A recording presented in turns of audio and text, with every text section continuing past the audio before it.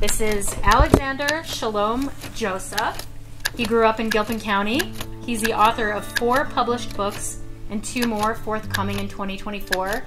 You write both poetry and short stories, correct? And he, uh, you might know him because he's written a poetry column in The Mountain-Ear for the last three years. He works as a laborer and writes whenever he has a free second. So this book came out two years ago, and it was written when I was renovating my house with Larry over there. Um, and it was kind of about being afraid of my house burning down and starting to live up in the mountains as an adult. And then this book is kind of the idea of the house already having burned down and trying to figure out how to find meaning in a world that feels like it's burning. I have a tattoo of a burning house, kind of commemorating that feeling. So I feel like it's nice to, uh, I don't know, be in company of people that understand the ma- the magic of a burning house. So it's intense, but I think it's important to accept it living up here. Mm-hmm. I think the first poem I'm going to read is so I work construction. I've taught and done a lot of different jobs, but I wrote this poem for like all of the workers up here, and I have a, like a mentor here, and one of my handyman clients is here. So I thought it would be nice to read this, kind of in honor of all the people who I grew up around and who I want to be like, or these old timers that kind of drive around the mountains, holding everything together. Let's see if I can find it wherever it is. Um, sorry for my. I just kind of decided I was going to read this when I saw Larry and Serene here. So Where are Larry and Serene? Larry and Serene back there. Sorry to call you out. Thanks for coming. Maybe I'll just start with a different one, see if I can find it. So this one contains my favorite poetry line I've ever written, so I decided to read it. There is so much to do, but I do nothing. I read on the bed for hours or listen to folk records until I sleep.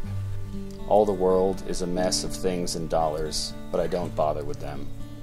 I just chop more wood for the fire and then put on a warmer pair of socks. As the light outside goes, the glow from inside takes over, painting the pines orange, and all moves with the stove flicker and pop. There is nothing but these wide mountains and me, alone in all this gentle night. The stubble of tree tips on the shadow green mountain line, like a torn edge of the earth seeping into the sky. Thank you.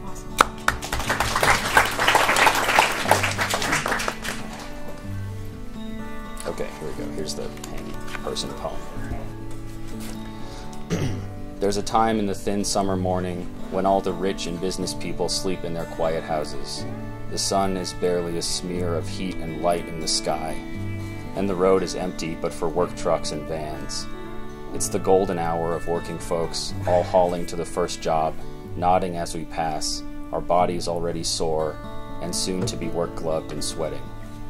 Praise the carpenter, the roofer, the chimney sweep, the plumber, all these sacred, always working fools, scarred and hungry and limping, each day a new hurt but the same job, riding work trucks like crosses, making miracles, then headed off to another set of messes down the road. Look behind paint, concrete, drywall dust, to find hard fought days, blood, and years off of lives. All our little houses built on sore backs, forgotten and overlooked until we need them and they appear.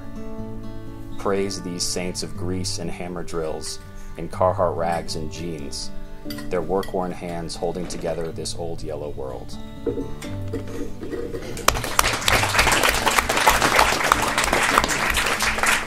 Okay, um, usually I save this for last, but I have a new book out, so I'm going to read from that after this. But this is kind of a summation of. So this book is a, a calendrical, is what it's called. So it's like a poetic journal of a year in the mountains, and all of these appeared in the Mountain-Ear.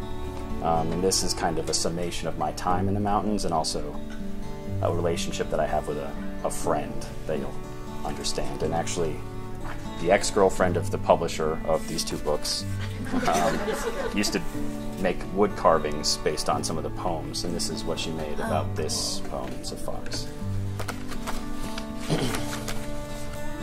Two days after moving into my place on the mountain, it came across the yard like a living flame.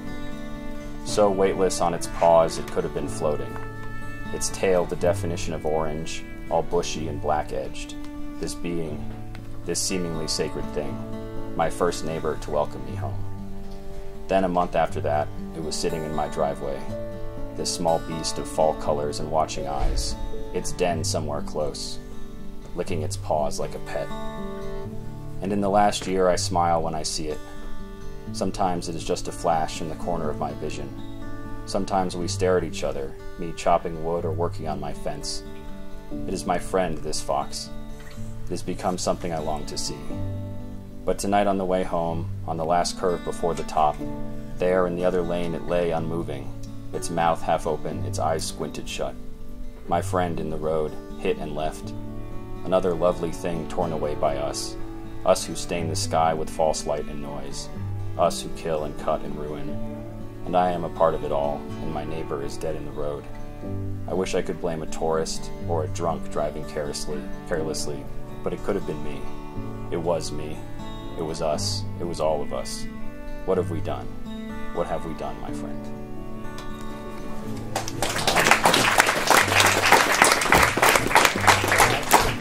Okay, so that's a good segue into this book, which is my parents always read the poems in the paper and try to find some hope in them. So they can keep searching. There's, I think it's hopeful to look at a burning house, and you know, at the end of this book is a quote that I really like by a a Zen monk that I think kind of defines this. It's uh, barns burnt down, now I can see the moon. And that's kind of what this tattoo is about, and that's what inspired this book. So, this book is about climate change and about trying to find love and meaning even in a world that feels like it's falling apart. The stars are sparks from fires burnt out so long before we were born. Maybe they too were once planets poised to burst into flame.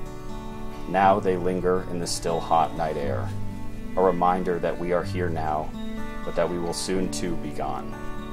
We should pray ourselves so lucky that our light will reach so far beyond our ends. um, let's see. This is about. So a lot of this is like imagining the woods burning, imagining my house burning, trying to write through that. I was working, um, I think, on Ridge Road doing some wood work, like fire mitigation stuff, cutting up dead trees, and I was really depressed about the fires. I was working for the High Alpine Firewood guys, and uh, it was a house that had just burned down. It had been rebuilt, and there was all these green sprouts poking up. And I was like, okay, maybe there's some sweetness to this burning. You know, that's when this book kind of started, finding the broken light in the burning wood. So, a few pictures of people I love my great grandpa's hat, two white t shirts, a pair of jeans, some underwear and socks, my two favorite collections of poetry. Here is some of what I can save. For when the fire comes, all that I leave behind, my books and records and memories of this home between the pines, will melt into the floor. The package of vanilla incense, which I keep in a drawer next to the stove, will all light up at once, spilling its scent and smoke over the air. How sweet the burning of all my things will smell. How sweet the burning of all my things. Thank you. How am I on time? This is uh, dedicated to my first dog. His name was Osito. He died a couple of years ago. But this is kind of inspired. It starts when he was alive. There's a sneaker abandoned in the roadside dirt on my parents' neighborhood loop. Rollinsville, in case you want to visualize it. it will outlive us all. It's made of things that will never break down. It's been there since I was in high school. Today it looks the same as ever, faintly dusty but not worn out, almost tempting passers-by to try it on or find the other in the pair and put them on and go for a run. I see it when my mom and I walk her dog, as we did with the dog before. This mass of laces and rubber already lasting longer than one generation of our pets. It will lie there, still in the snow and grass throughout the seasons, throughout the rest of my mother's life and mine too. When the world is nowhere near what it was when I was born and young in it, when all the dogs are long gone, eventually when I walk no more, the sneaker will remain, immortal in the white dust, a piece of the accidental, useless eternity we made and scattered over the world.